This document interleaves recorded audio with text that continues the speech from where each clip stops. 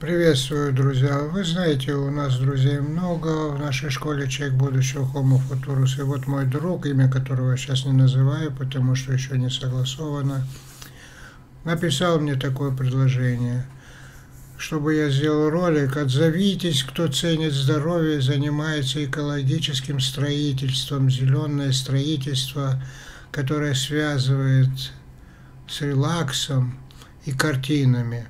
Да, ну, которая связана, чтобы был полный релакс, зеленое строительство. Ну, напишите мне, друзья. А эта картина, которую мы писали вместе, вы помните?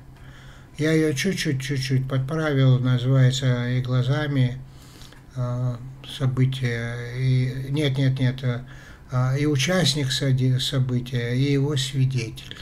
Да. Одновременно быть в ситуации и одновременно смотреть на все отрешенно таком экологическом состоянии, потому что есть экология внешняя, есть экология внутренняя.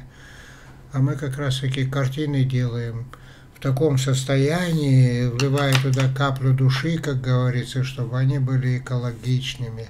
И когда ты на них смотришь, как мне многие пишут в комментах, они прямо даруют здоровье, потому что они целебные. Ну, там с душой сделано. Но все, что сделано с душой, все хорошо.